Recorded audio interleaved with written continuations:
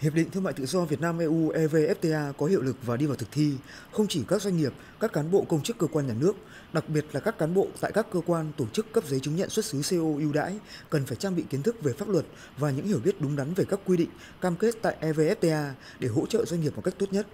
Trước đòi hỏi đó, Cục xuất nhập khẩu Bộ Công Thương đã tổ chức hội nghị phổ biến hiệp định EVFTA cho các cán bộ làm công tác cấp giấy chứng nhận xuất xứ CO tại các phòng quản lý xuất nhập khẩu khu vực và dự thảo thông tư hướng dẫn quy tắc xuất xứ hàng hóa trong hiệp định EVFTA. Đáng chú ý, các hoạt động đánh giá về thị hiếu, dư địa, các cam kết của EU, khả năng sản xuất trong nước được nghiên cứu chi tiết đến từng mặt hàng mà Việt Nam có thế mạnh và được ưu đãi nhiều về thuế quan được thực hiện ngay trong quý 2. Các cơ hội, khả năng tăng trưởng xuất khẩu và xây dựng phương án thực hiện ngay sau khi EVFTA có hiệu lực.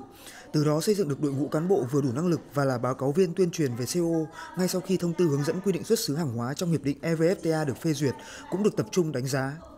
Căn cứ kế hoạch cũng như nhu cầu của địa phương, hiệp hội, doanh nghiệp, Cục xuất nhập khẩu sẽ lên kế hoạch tổ chức các khóa tập huấn chuyên sâu về quy tắc xuất xứ trong hiệp định EVFTA cho các cơ quan, tổ chức cấp CO để các doanh nghiệp, hiệp hội nắm bắt được cơ hội cũng như quy trình, thủ tục, sớm tận dụng ngay các cam kết ưu đãi. Mặt khác, Cục xuất nhập khẩu cũng sẽ hỗ trợ doanh nghiệp cách xử lý, thực hiện và giả soát về mặt kỹ thuật khi có yêu cầu về kiểm tra, xác minh xuất xứ từ phía EU trong trường hợp cần thiết để bảo vệ lợi ích chính đáng của doanh nghiệp Việt Nam.